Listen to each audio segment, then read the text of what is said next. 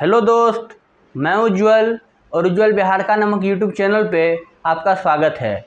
आज के इस वीडियो में हम बताएँगे कि किसी भी ज़मीन का अगर रसीद नहीं है तो उस ज़मीन का हम सर्वे कैसे करवाएँगे?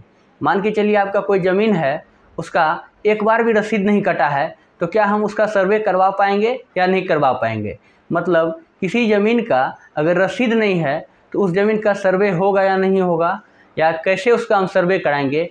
इन सारे मुद्दे पर आज की इस वीडियो में हम चर्चा करेंगे। तो वीडियो को आप अच्छे से देखिए। हम अपने इस वीडियो में स्टेप बाय स्टेप आपको तरीका बताएँगे, आपको लीगल प्रोसेस बताएँगे, जिसके माध्यम से आप जो ज़मीन है, जिसका एक बार भी रसीद नहीं कटा है, अगर संभव हो तो उसका आप सर्वे करवा सकते हैं। तो वीडियो में बने रहिए। वीडियो अगर आपको अच्छा लगेगा तो वीडियो को लाइक कीजिएगा, कमेंट कीजिएगा और हमारे चैनल को सब्सक्राइब कर दीजिएगा।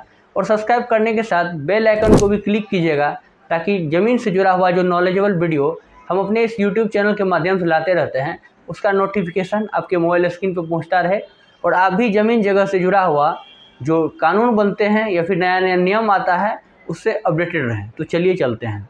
सबसे पहले कि किसी ज़मीन का आपके पास रसीद नहीं है तो उसका सर्वे होगा या नहीं होगा? तो तत्कालिक रूप से किसी भी भूमि का अगर रसीद नहीं है तो उसको सर्वे उसका नहीं किया जाएगा। मतलब सर्वे करवाने के लिए किसी भी भूमि का रसीद अनिवार्य है।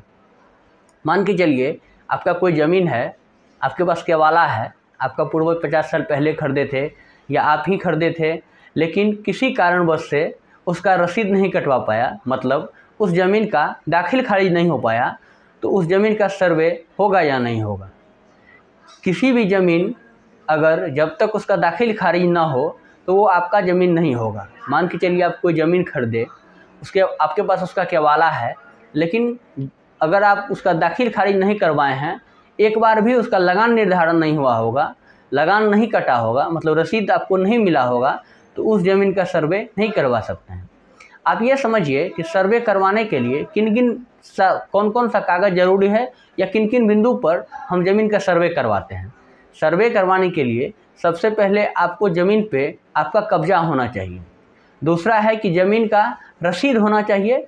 वैसे तो अपडेटेड रसीद माँगता है, लेकिन अगर आपको अपडेटेड रसीद नहीं भी है, फिर भी आप उस ज़मीन का सर्वे करवा सकते हैं। लेकिन आपके पास एक बार भी उसका कटा हुआ रसीद होना चाहिए।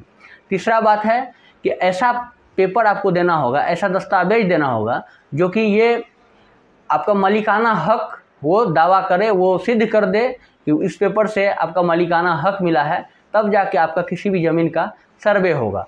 तो ऐसे केस में अगर आपके पास केवाला है, लेकिन दाखिल खारिज नहीं हुआ है मतलब आपको रसीद नहीं मिला है तो ऐसे ज़मीन का आप सर्वे नहीं करवा सकते हैं। ऐसे ज़मीन का सर्वे करवाने के लिए सबसे पहले आपको दाखिल खारिज करवाना होगा। आप दाखिल खारिज कराने के बाद जब एक बार भी उसका लगान निर्धारण हो जाएगा, तभी आप उस ज़मीन का सर्वे करवा सकते हैं। ऐसा भी केस हो सकता है कि आपके घर में मान के चलिए केवाला हो, लेकिन वो ज़मीन आपका किसी को फिर से पूर्वज बेच दिए होंगे, या फिर आप ही किसी ज़मीन को खरीदे और आपके घर में केवाला है, लेकिन फिर कुछ दिनों में आप उस ज़मीन को बेच दिए। ऐसे में तो केवाला आपका घर में है, लेकिन वो ज़मीन का मालिकाना हक तो आपके पास नहीं है ना। तो जब तक आपको अपडेटेड रसीद नहीं होगा आपके पास तो उस ज़मीन का आप सर्वे नहीं करवा सकते हैं। हमें समझ हो गया है कि आप वीडियो में अच्छे से समझ गए होंगे। अगर नहीं भी समझे होंगे तो आप हमें कॉल करके या हमारे चैनल पे जो डिस्क्रिप्शन में मेरा नंबर दिया हुआ है, उसके माध्यम से हमें मैसेज करके जो आपका समस्या है, उसको छुटकारा आप दिला सकते हैं। तो वीडियो अगर आपको अच्छा लगा होगा तो लाइक कीजिएगा, कमेंट कीजिएगा और हमारे चैनल को सब्सक्राइब कीजिएगा और अपने दोस्तों के बीच भी शेयर कीजिएगा। ऐसे ही नॉलेजेबल वीडियो के लिए हमारे चैनल को देखते रहिए और हमारे चैनल को दोस्तों के बीच भी रिकमेंड कीजिए। आपका